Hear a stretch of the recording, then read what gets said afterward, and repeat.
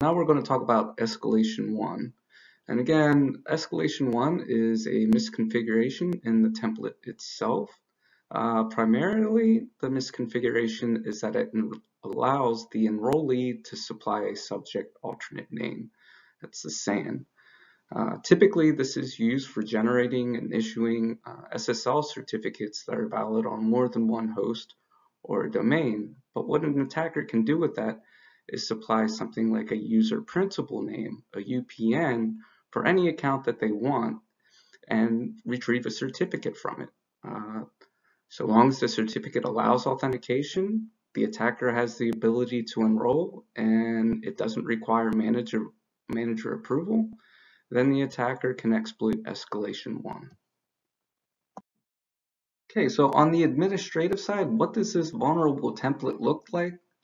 Well, you can see here uh, with that little red arrow in the subject name field for the template configuration, uh, supply and request was enabled.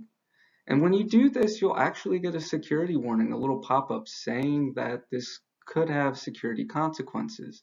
It doesn't say that you're opening up a giant hole, but it does warn you about it.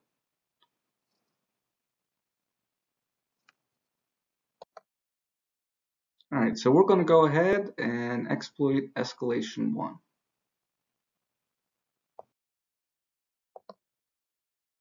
Okay, so first what we're going to do here is go ahead and request the certificate templates. Again, any domain user can request these templates. And then we're going to go ahead and review them, see if any of them are vulnerable to escalation 1.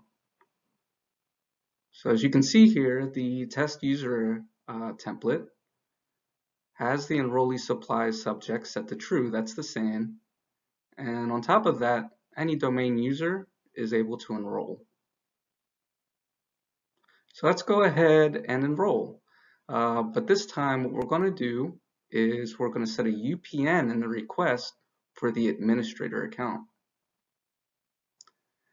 As you can see, we got a certificate uh, that contains a certificate that's valid for the administrator user, and we can use that certificate to authenticate and obtain the NTLM hash for the administrator account.